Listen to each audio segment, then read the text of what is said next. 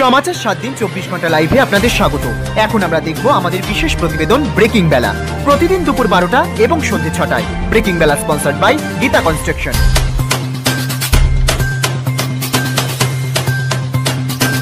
চলুন, দেখে নিই আজকের প্রতিবেদন। আগের তুলনায় ভালো আছেন প্রাক্তন মুখ্যমন্ত্রী বুদ্ধদেব ভট্টাচার্য। রয়েছেন সিআইটি রোডের একটি নার্সিং হোমে বৃহস্পতিবার থেকে তার দরকার পড়েনি বাইপ্যাপ সাপোর্টেরও অবশ্য তার শারীরিক দুর্বলতা এখনও কাটেনি। কোভিডের ধাক্কা কাটিয়ে দুর্বলতা সারাতে আরও সময় লাগবে বলে মত চিকিৎসকদের। শনিবার তাকে উঠিয়ে বসানো হয়। খাওয়ানো হয়েছে ফলের রসও।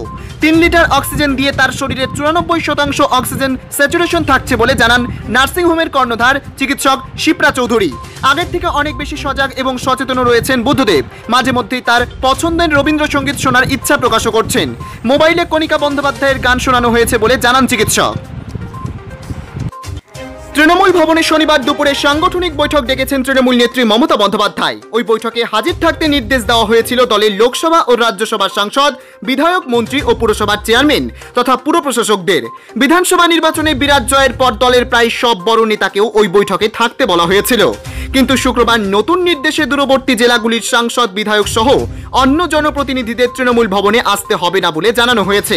তাদের ভিডিও কনফারেন্সের মাধ্যমে বৈঠকে যোগ দিতে নির্দেশ দেওয়া হয়েছে। কোভিড পরিস্থিতির কারণে এই সিদ্ধান্ত। তৃণমূল ভবনে আসতে বলা হয়েছে, কলকাতার সহ উত্তর ও দক্ষিণ চব্বিশ পরগনা, হাওড়া ও হুগলির সাংসদ বিধায়ক ও পুর প্রশাসকদের। তবে উত্তর ও দক্ষিণ চব্বিশ পরগনা জেলার যে সমস্ত এলাকা ইয়াস ঘূর্ণিঝড়ের প্রভাবে ক্ষতিগ্রস্ত হয়েছে, সেই সমস্ত এলাকার জনপ্রতিনিধিদের তৃণমূল ভবনে আসতে হবে না। দূরবর্তী জেলার সঙ্গে তারাও বৈঠকে অংশ নেবেন ভিডিও কনফারেন্সের মাধ্যমেই। সূত্রের খবর, এই বৈঠকে বেশ কিছু সাংগঠনিক রদবদল হতে পারে। রাজধানী এক্সপ্রেস, পণবন্দি এবং খুনের মামলায় ধৃত জঙ্গলমহলের তৃণমূল নেতা ছত্রধর মাহাতো। আদালতের কাছে তাকে গৃহবন্দী রাখার আবেদন জানিয়েছেন।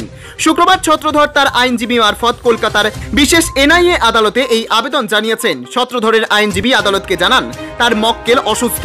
বাড়িতে থেকেও তদন্তে সব রকমের সহযোগিতা করতে প্রস্তুত। তাই তাকে গৃহবন্দী থাকার আবেদন জানিয়েছেন আদালতের কাছে।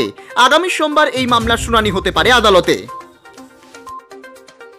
এখনও মেলেনি অনুমোদন। চলছে তৃতীয় দফা ট্রায়াল তবে জরুরি ভিত্তিতে অনুমোদন মিললে বায়োলজিক্যাল ই সংস্থার উৎপাদিত টিকাই হতে চলেছে দেশের সবচেয়ে সস্তা করোনা টিকা, যার দুটি ডোজের সম্মিলিত মূল্য হতে চলেছে পাঁচশো টাকা। এমনকি এর চেয়েও কম চারশো টাকাও হতে পারে বলে দাবি এক সর্বভারতীয় সংবাদ মাধ্যমের। যদিও শেষ পর্যন্ত এর দাম কত হবে তা ঘোষণার পরই জানা যাবে। তবে তা এর আশেপাশেই থাকবে বলে মনে করা হচ্ছে। প্রযুক্তির চোখকে ফাঁকি দিয়ে আপাতত ধা, ভারতের একমাত্র রেডিও কলার পরানো বাঘ। শেষ সিগন্যাল পাওয়া গিয়েছিল বাংলাদেশের তালপট্রির জঙ্গলে। সেটা মে মাসের এগারো তারিখ।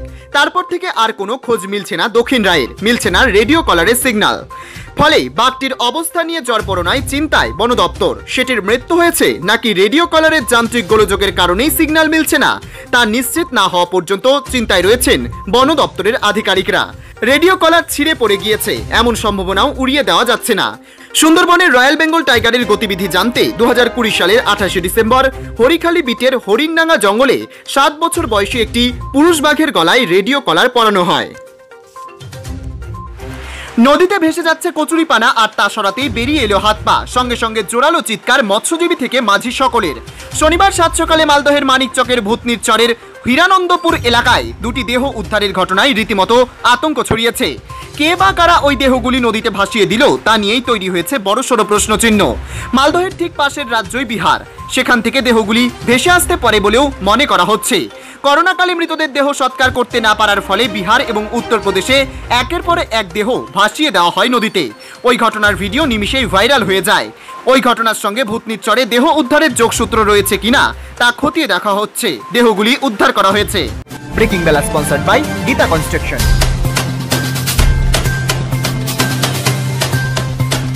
অন্যান্য বিস্তারিত খবর দেখতে চোখ রাখুন আমাদের পর্দায়।